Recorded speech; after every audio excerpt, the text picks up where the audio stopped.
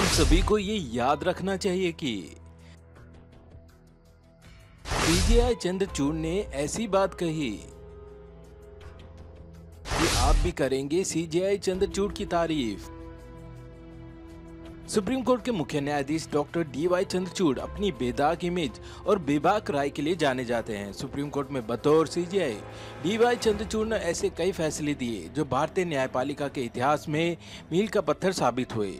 CGI हर आम आदमी की न्यायपालिका तक पहुँच को अपनी ज़िंदगी का सबसे बड़ा मिशन मानते हैं। हाल ही में सीजीआई चंद्रचूड़ ने कहा कि सार्वजनिक स्थान अक्सर समाज में पहले से मौजूद सामाजिक असमानताओं को प्रतिबिंबित करते हैं। उन्होंने कहा कि नए बुनियादी ढांचे का निर्माण न केवल वकीलों और न्यायाधीशों के लिए अच्छा है, बल्कि इसका उद्देश्य हमारे समाज के व्यापक वर्ग तक पहुँचना भी है। सी सीजीआई चंद्रचूड़ अक्सर ही सामाजिक मुद्दों पर बात करते रहते हैं, साथ ही समाज में फैली असमानताओं को लेकर भी वह मुखर रहते हैं। वह अक्सर ही ऐसे मुद्दों पर अपनी राय रखते रहे हैं। सीजीआई चंद्रचूड़ ने एक बार फिर से समाज में फैली असमानता पर टिप्पणी की है। सी. सीजीआई चंद्रचूड़ ने क्या क्या कहा, आपको पूरी खबर विस्तार से बताएँगे।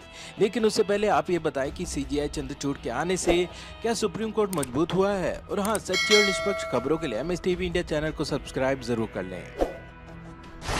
इन मुद्दों पर की बात। प्रधान न्यायाधीश डीवाई चंद्रचूड़ ने कहा, हम सभी को ये याद रखना चाहिए कि सार्वजनिक स्थान अक्सर हमारे समाज में पहले से मौजूद सामाजिक असमानताओं को दर्शाते हैं। हमारा बुनियादी ढांचा कभी कभी बहिष्कार के सूक्ष्म संकेतों को प्रतिबिंबित करता है, जैसे कि महिलाओं के लिए शौचालयों की कमी, जिसका मैंने पहले उल्लेख किया था। दिव्यांगों के लिए रैंप, युवा माताओं के लिए क्रैच और स्तनपान कराने के कमरे। प्रधान न्यायाधीश ने कहा कि ई सेवा केंद्रों पर ध्यान केंद्रित करने का कारण ये है कि भारत में अब भी इंटरनेट विभाजन है और हर किसी के पास इसकी पहुँच नहीं है। उन्होंने कहा कि हर वकील के पास स्मार्टफ़ोन नहीं है और हर नागरिक के पास लैपटॉप नहीं है। सब तक न्याय की पहुँच हो।